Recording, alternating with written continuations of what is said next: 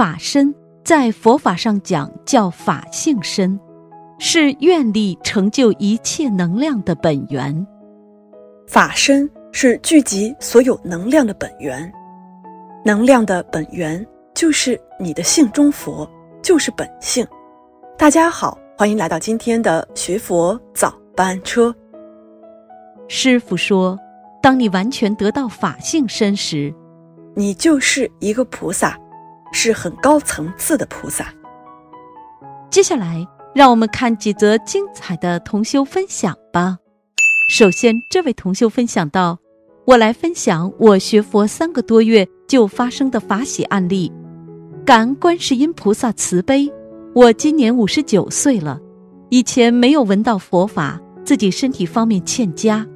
今年四月份时，经刚学佛不久的嫂子介绍来学心灵法门，从慢慢的一字一句听念佛机学会功课，到开始念小房子。”坚持放生，学习白话佛法。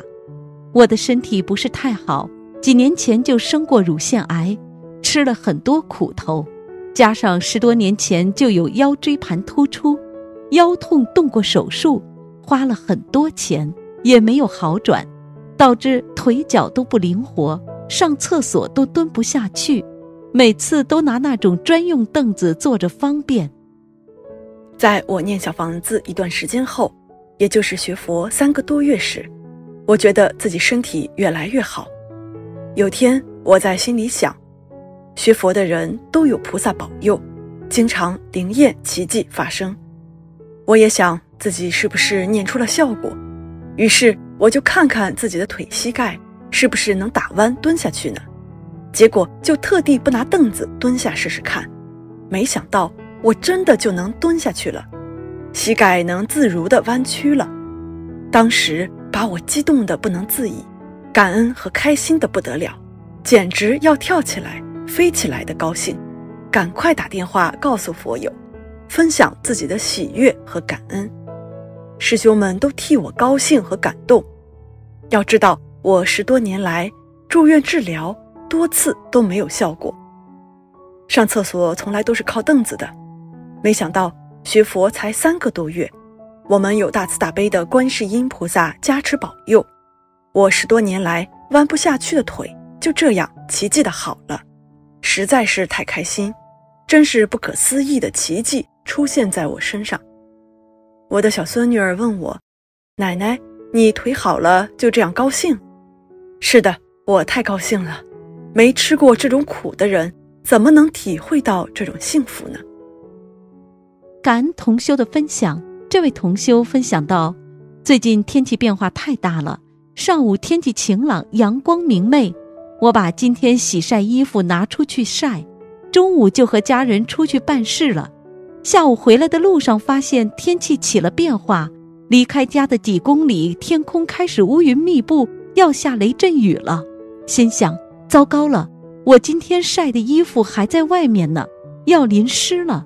在回家路段看到路面上全是雨水，路面全打湿了。看样子刚才这里雨还不小呢。车子缓缓地进小区门口，竟然发现就隔一条马路。我们小区里的路面上都是干干的，这里竟然没有下大雨呢。我忙回去收拾衣服，发现今天我晒的衣服法会义工服一点儿都没有被雨淋湿。真的太法喜，佛菩萨保佑，又一次让我震撼了。家有佛菩萨保佑，真的又印证师傅一句话：如有真修之人，能庇佑一方土啊！感恩南无释迦牟尼佛，感恩南无大慈大悲救苦救难广大灵感观世音菩萨，感恩诸佛菩萨及龙天护法菩萨，感恩卢军宏师傅。分享结束，如果有不如理、不如法之处。请大慈大悲观世音菩萨慈悲原谅，同修自己的业障自己背，不让师傅背，不让师兄们背。接下来，让我们一起来听师傅讲一个小故事吧。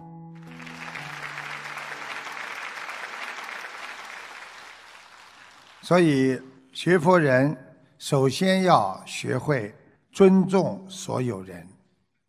因为尊重是一种教养，尊重别人是一种教养。任何人做事情，台长告诉你们都不会尽善尽美的，没有一个人能够尽善尽美，因为我们没有理由以自己觉得自己修得很好，或者觉得自己很了不起去审视别人，因为我们人总是喜欢啊拿自己去跟别人比。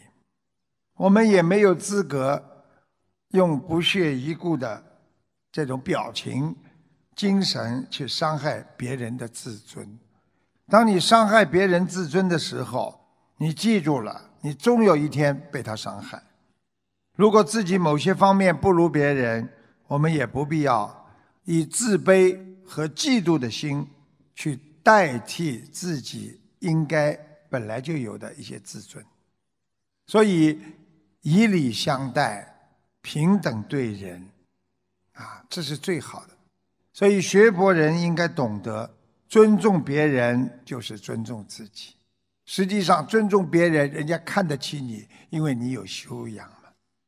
有一家生意红火的蛋糕店门口，啊，他们蛋糕做得非常好，站着一位衣衫褴褛、身上散发着难闻。气味的乞丐，啊，身上非常臭。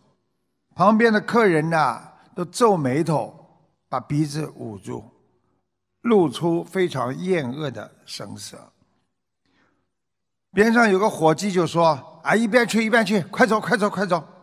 这乞丐呢，却拿出了几张脏兮兮的小面额的钞票，小声的啊对这个伙计说。我来买蛋糕，我要买最小的那一块。店老板突然之间，一个年纪大的店老板走过来，热情的从柜子里拉开玻璃橱窗，取出一小块精致的蛋糕，递给了乞丐。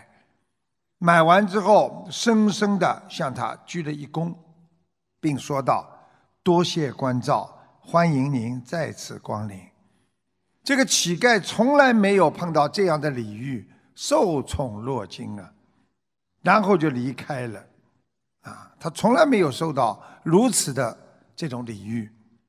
那么店老板的孙子在边上都看见这一幕了，他就觉得非常不解，他就问：“爷爷爷爷，你为什么对乞丐如此的热情啊？”店老板解释说：“孩子啊。”虽然他是乞丐，但是他也是我们的顾客呀。他为了吃到我们的蛋糕，他不惜去花很长时间去讨来这么一点点的钱。实际上他是很难得的。我不亲自为他服务，怎么对得起他的这份厚爱？孙子又问：“那爷爷既然如此，为什么你还要收他的钱呢？”现在小孙子很厉害了，啊，啊，所以说你你既然这样对他好，你为什么收他钱呢？孙子问了之后，店老板说：“他今天是客人，不是来要饭的。我们当然要尊重他。如果我今天不收他的钱，岂不是对他的侮辱吗？